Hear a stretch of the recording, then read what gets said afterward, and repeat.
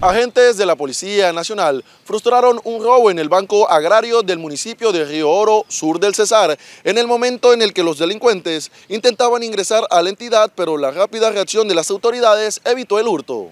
En horas de la madrugada de este jueves 4 de abril, delincuentes intentaron ingresar a la bóveda dentro de las instalaciones del Banco Agrario del municipio de Río Oro, sur del Cesar. Sin embargo, la comunidad de dicho municipio alertó a las autoridades haciendo llamados inmediatos para que arribaran al lugar, teniendo éxito en la reacción de la Policía Nacional al frustrar el hecho. De acuerdo a los relatos entregados por varios testigos, hacia las 2 de la mañana comenzaron a escuchar varios ruidos extraños procedentes de las instalaciones bancarias. Fue en ese momento cuando alertaron a las autoridades quienes de inmediato desplazaron varias patrullas para evitar el hurto de dinero o elementos de la entidad bancaria. Aunque las autoridades realizaron planes para encontrar a los delincuentes, no lograron dar con el paradero de los responsables. Hay que recordar que esta no es la primera vez que esa entidad crediticia es víctima de los delincuentes en esa población del sur del Cesar.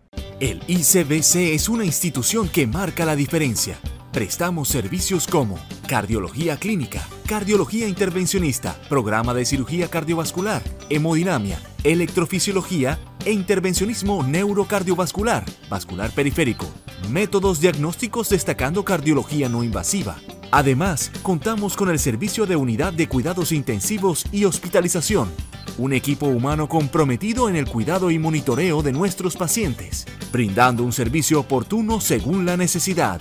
Nuestro lema es Por el corazón del valle. Le ponemos el corazón para el bienestar de nuestros pacientes. Somos el Instituto Cardiovascular del Cesar.